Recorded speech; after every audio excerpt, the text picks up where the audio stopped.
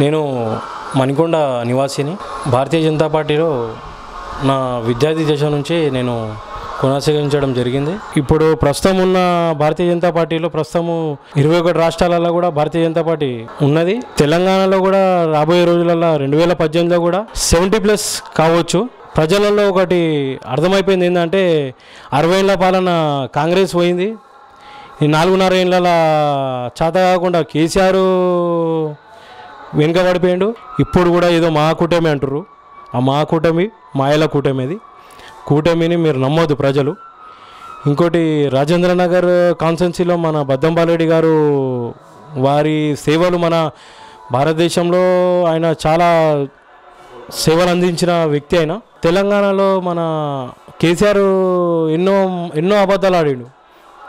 దళితులకు ముఖ్యమంత్రి చేస్తున్నాడు. మూడెకరాల భూమి ఇస్తున్నాడు.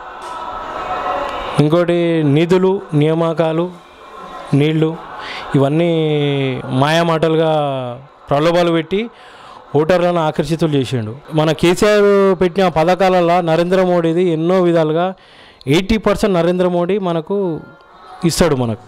మన నియోజకవర్గం రాయనార్ కాన్స్టిట్యున్సీలో కూడా ప్రకాష్ గౌడ్ గారు రెండుసార్లు ఎమ్మెల్యేగా పోటీ చేసి గెలిచి అసెంబ్లీలో ఎన్నిసార్లు మాట్లాడిండో కూడా తెలియదు అసలు మాట్లాడలేదు కూడా తెలియదు మాట్లాడిన దాఖలు కూడా లేదు నేను చూసినంత వరకు అయితే ఇంకోటి రాయనార్ కాన్స్టిట్యున్సీలో మీరు ప్రజలకు ఒకటి విజ్ఞప్తి ఏంటంటే భారతీయ జనతా పార్టీని గెలిపించుకోండి.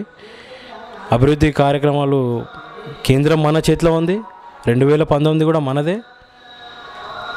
ఎంపీలైనా ఎమ్మెల్యేలైనా అందరూ భారతీయ జనతా పార్టీ ఒకటి గట్టి విజన్గా అవుతుంది. రాయన్నార్ కాన్స్టిట్యూన్సీలో రాయన్ బద్దంబాలరెడ్డి గారిని భారీ మెజార్టీతో గెలిపించగలరని నేను